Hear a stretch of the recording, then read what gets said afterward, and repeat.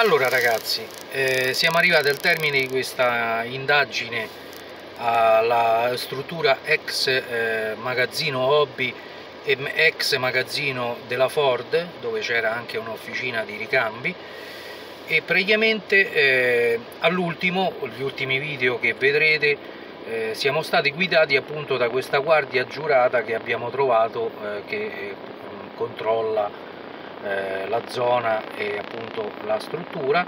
È stato una persona eccezionale non ha avuto problemi non si è creato problemi mi ha guidato tranquillamente eh, anche perché anche lui curioso di, sia di eh, urbex che eh, di paranormale e, e nulla.